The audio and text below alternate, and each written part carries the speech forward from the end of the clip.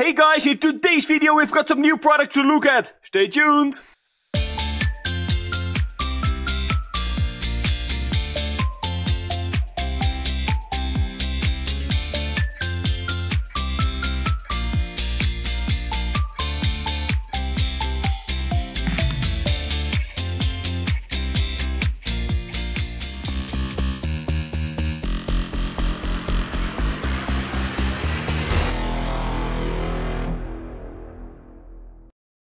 So guys, in today's video we are doing things a little bit differently. So normally I just do review videos about cars, but this time I wanted to share some new stuff that I bought. So let me move some things around and show you the first things.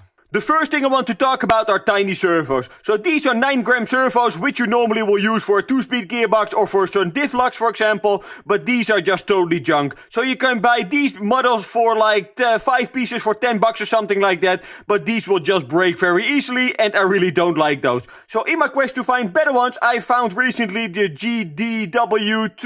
Uh, I'm not sure but I will put it in the screen right now.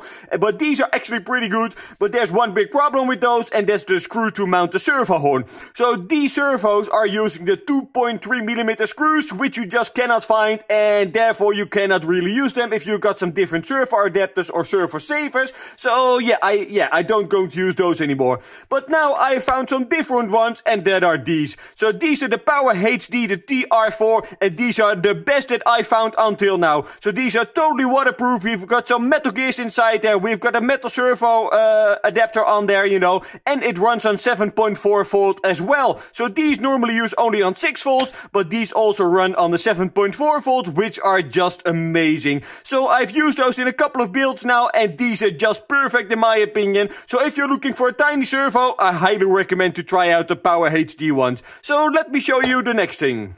Driving your RC car is fun, but do you know what's not fun? When your transmitter tells you that your batteries are dead, and that's always a big problem. So I always hate these batteries, you know, these throwaway batteries, I always hate those. And when they are empty, you have to find some new ones, and then you don't have got any, so that's just a pain in the butt in my opinion. So therefore, I bought some new rechargeable ones. So these are made by Xtar, and these are rechargeable lithium ion batteries, which I totally uh, uh, love. So I'm using those for a couple of weeks now, and these these are just amazing in my opinion. So as I mentioned, these are rechargeable lithium ion batteries and they come with a dedicated charger. So you cannot use just the standard chargers because this one is made for lithium ion batteries. So if you're struggling with some normal, yeah, throwaway batteries, I highly recommend to check out these because these are just amazing. So let me show you the next thing.